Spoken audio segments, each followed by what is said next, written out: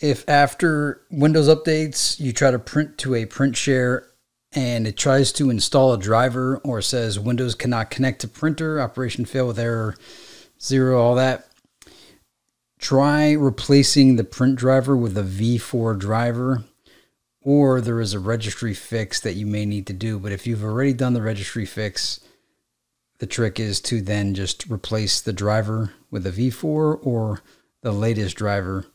When I say V4, it's like a universal print driver V4 PCL6. That's what I did. I just had, and, and it's a uh, point and print driver. You might have a different situation or what, or these answers may not work. So treat this video like a forum. Put your situation in the comments along with how you resolved it, whether or not replacing the driver with a PCL6 or V4 universal driver fixed it. I also am leaving a link in the description to a online forum that has some solutions. Thanks for watching Technuba.